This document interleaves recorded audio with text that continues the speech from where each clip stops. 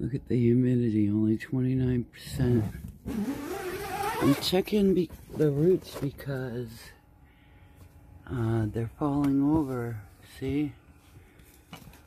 And uh, the water, there's no water. Oh, oops.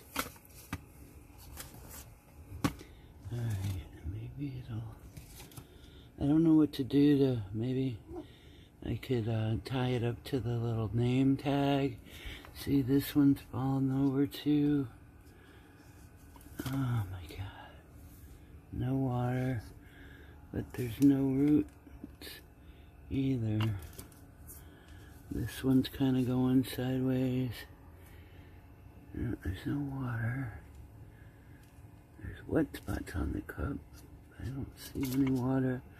And then these two, this one started to fall over. Um, I've tried to pick it up. Oh God. That's my, both of, oh my God, the water. Well, there's only like a teaspoon, but still. Let's check.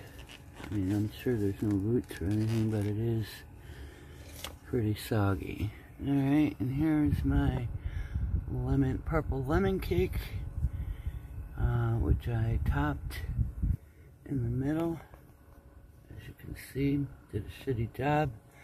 But this has more nodes than you can see, and they're all kind of bunched together.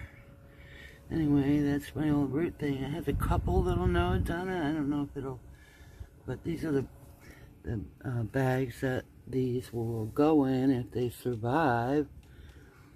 I don't know what's making it fall over. I'm thinking about transplanting it into bigger solo cups.